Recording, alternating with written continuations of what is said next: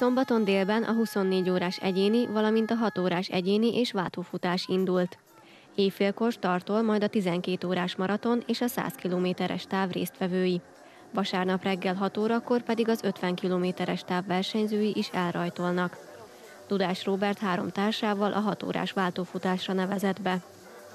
Igazából teljesen hobbi szinten futunk, én úgy hiszem, hogy a négyes váltó minden tagja, igazából csak a szórakozás és a társaság az, ami elsősorban minket ide vonzott ezúttal.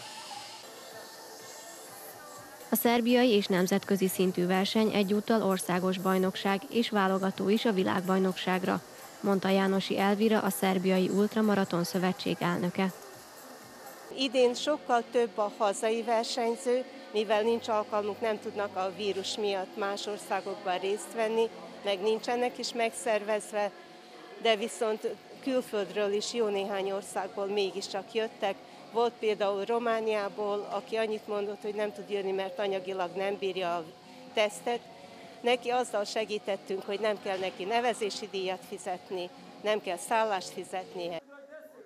A 14. Palicsi Nemzetközi Ultramaratont dr. Pásztor Bálint Szabadka város képviselőtestületének elnöke és Natasa Alexic a Városi Tanács sport és ifjúsági ügyekkel megbízott tagja nyitotta meg.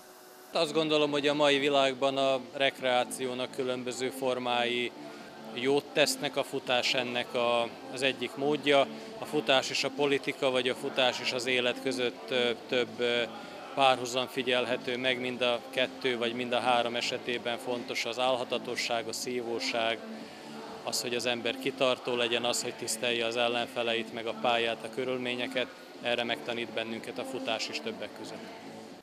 A 14. Palicsi Nemzetközi Ultramaraton vasárnap délig tart. A kora délutáni eredményhirdetéssel és az ünnepélyes díjkiosztóval zárul.